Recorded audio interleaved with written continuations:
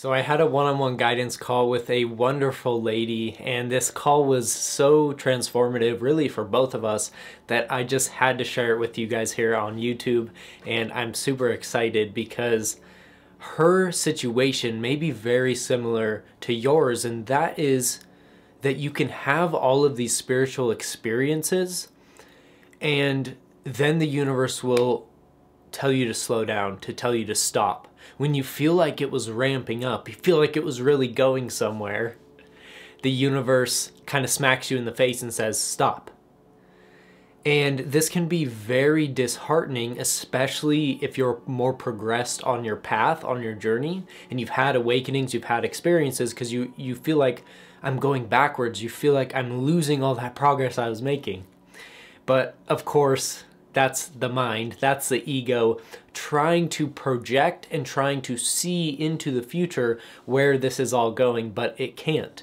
It absolutely can't. So when the universe or grace, that internal wisdom tells us to stop, to slow down, we take it as a bad thing, and I'm here to tell you that it's not. Because what's really happening once you've had awakenings or spiritual experiences is that the universe is telling you to slow down so that you can embody what you know, so that you can actually live in the most extraordinary way your deepest realization.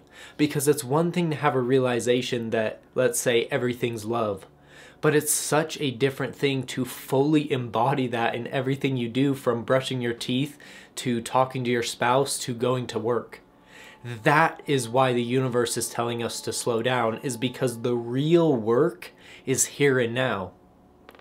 And that's what's so beautiful about spirituality is that it always comes back to here and now. There's nowhere to go. So even though it may feel like something's ramping up, something's coming, something bigger, something better, something I don't even know what, the only thing that will ever lead to for you is right now. And there's no escaping that. You can't get out of right now. You can't get towards the future faster or away from the past faster. You're always here and now, and the bulk of spiritual work will always be about your embodiment here and now.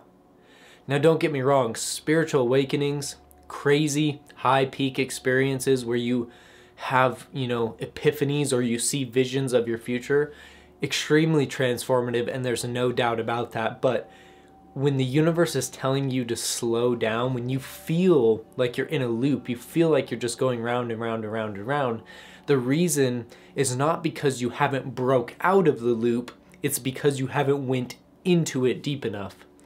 And when i say go into it deep enough i don't mean like you you're in a loop of drinking a beer every day and so you start drinking beer all the time. No that's not what i'm saying. What i mean is that we try to escape the things we need to go into.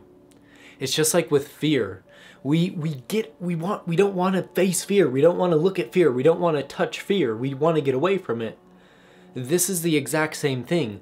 When the fear arising is asking you to meet me, the, the fear saying meet me, embrace me, hold me, and really love me, that's what your life is saying when you feel like slow down. When the universe is saying stop. Your life right now is saying, Love me, embrace me, look at me, hold me, just as it is. With all of these thoughts about how our job isn't good enough, our life situation isn't good enough, with all of that too, embrace it all here and now. Because that's really, I feel like, the heart of the spiritual journey. You have all these amazing ideas of how extraordinary and blissful and magical everything will be and it could still be that way. Of course, anything's possible, but you also realize at that exact moment that it's really about here and now, whatever that is appearing and arising as. Even if that's appearing as this life that you've been telling yourself is so boring and so pointless and, and so unspiritual, you know, brushing your teeth, going to work in the office. Well, that's the work, that's the trick. That is spirituality. That's modern spirituality. It's going to your office job and deeply embodying your spiritual realizations. Now, don't get me wrong, if you're not in an office, I don't blame you. But that is what's happening when you feel like the universe is saying stop. When the universe is saying stop, the universe is saying love your life deeper.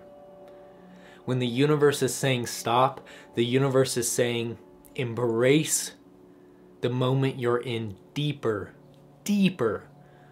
Don't get away from it faster. Don't run away or towards something faster.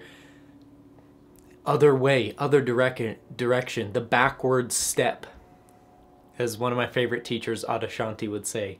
Spirituality is so counterintuitive that we need to learn to take this backward step.